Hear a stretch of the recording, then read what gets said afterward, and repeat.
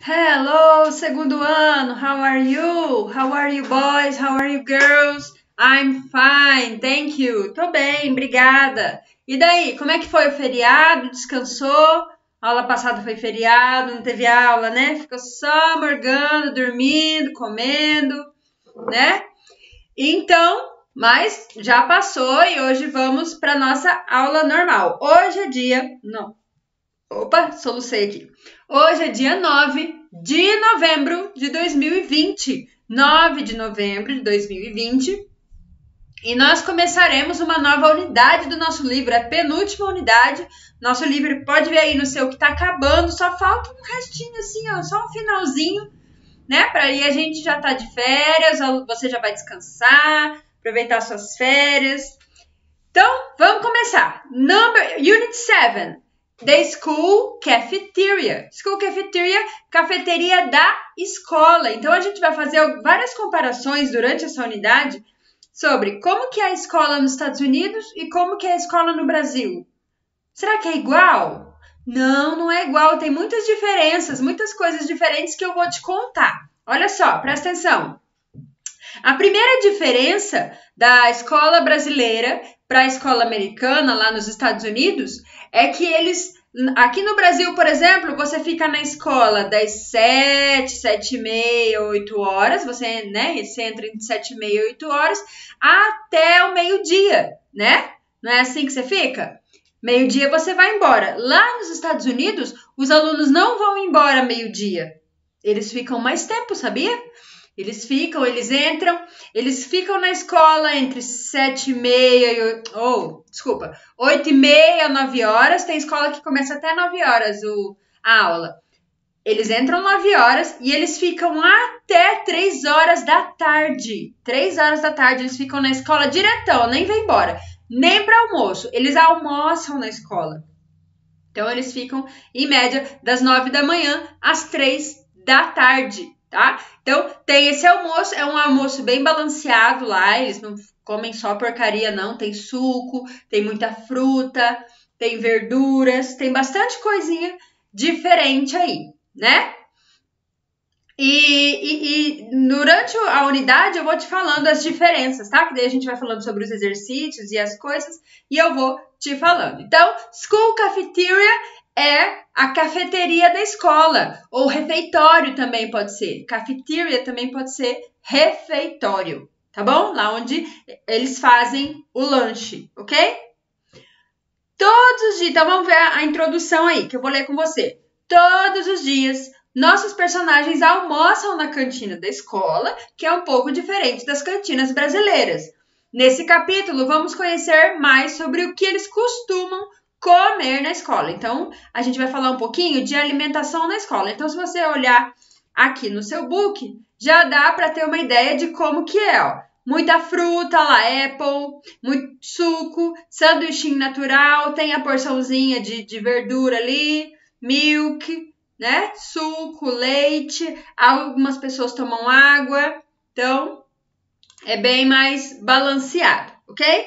Virando a nossa página, para nossa primeira página aí de atividades, page 8, nós temos Name your favorite. Opa, aqui. Name your favorite break time food. Break time food. Break time é a hora do intervalo, é a hora do recreio. Então, break time food. Quais são suas opções preferidas de lanche na escola? O que, que você gosta? de lanchar na escola? Você gosta de tomar suco? Você gosta de comer um sanduíche? Você gosta de comer um bolo? O que, que você gosta? Ah, eu não gosto de comer na escola, né? Não, comer na escola tem que comer, né? Senão fica com fome. O que, que você gosta de comer? Você pode pegar e escrever nesse espacinho aqui para teacher, tá? Escreve aqui para mim o que, que você gosta. Pode ser em português mesmo. Ah, teacher, eu gosto de comer pizza. Eu gosto de comer bolo. Pode colocar aqui em português, não tem problema, tá? Só pra gente introduzir. Get ready. Então vamos lá. Look, listen and repeat. Então primeiro eu vou eu vou colocar para você, eu vou eu vou contando para você o que está acontecendo aqui, eu vou traduzir para você e depois eu coloco o áudio, tá? Original para você saber. Então começa aqui, ó. Eles estão lá na School Cafeteria querendo é, é, decidir o que, que eles vão comer. Então começa. Pizza and sandwich. Yummy! Yummy é o mesmo que hum. Sabe quando você gosta de uma comida que você fala hum? Então em inglês eles falam yummy, tá? Então pizza e sanduíche. Hum, yummy. Uh, eu comecei ao contrário, né? Então primeiro a Tomiko pergunta: What's for lunch? O que, que tem de lanche?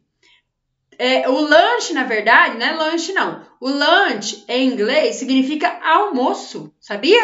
O lanche, o lunch aqui que a gente tá vendo não é o lanche que a gente tem que toma, que toma um, por exemplo, toma um suco, come um pedaço de bolo, fez um lanche. Ah, comeu um sanduíche, fez um, um, um, um lanche. É o, então, o lanche para eles é o almoço, tá? Então, deixar bem claro isso, antes da gente continuar. Então, voltando lá. Então, a Tomiko começa perguntando, what's for lunch? O que, que tem de almoço? Aí o Michael responde: pizza and sandwich. Yummy! Pizza e sanduíche. Hum.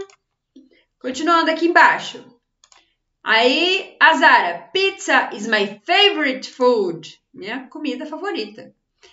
Aí o Klaus: I prefer sandwiches. I prefer sandwiches. Eu prefiro sanduíches. Ok? Agora que você já sabe, vou colocar o áudio para você.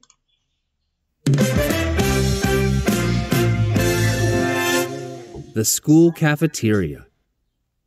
Get ready. Look, listen, and repeat. What's for lunch? Pizza and sandwich. Yummy! Pizza is my favorite food. I prefer sandwiches.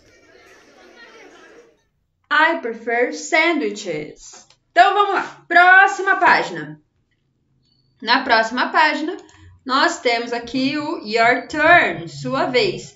Find and color the words in the word search. Então você tem aí embaixo um caça-palavras. Então você vai achar essas palavrinhas. Ó, tem a palavra e já tem a imagem daquela palavra.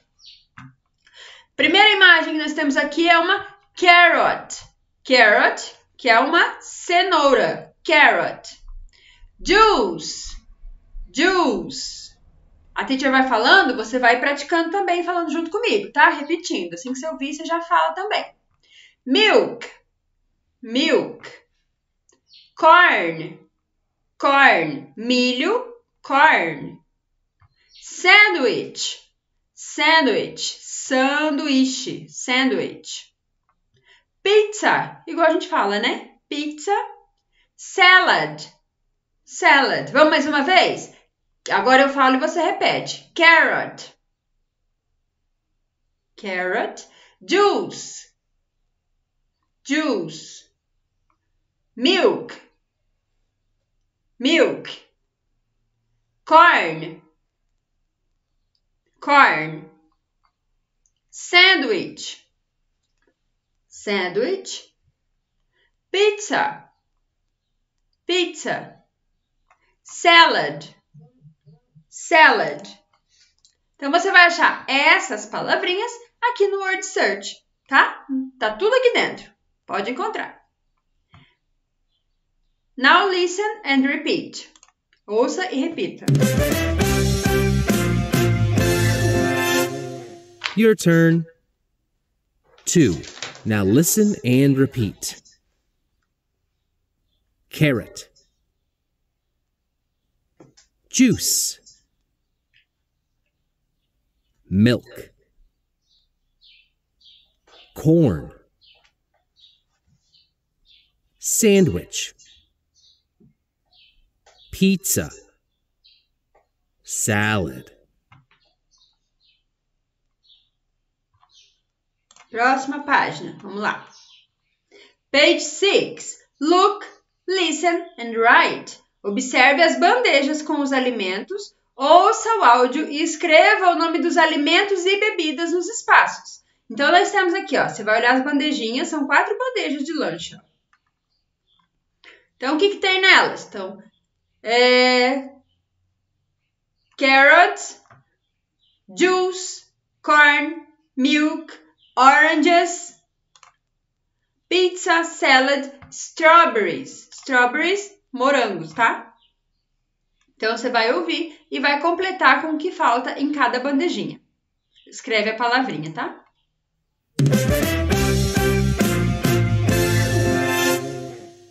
Your turn. 3. Look, listen, and write. 1, What's for lunch? Pizza, carrots, salad, milk, and strawberries. 2, What's for lunch? A sandwich, corn, carrots, milk, and bananas. 3, What's for lunch? Pizza, corn, salad, milk, and oranges. 4, What's for lunch? A sandwich, carrots, salad, juice, and apples. Ok, então esse é o listening do exercise 3. Se você precisar ouvir de novo, pode ouvir quantas vezes você quiser, até você preencher com o nome das comidinhas que está faltando em cada bandejinha, ok?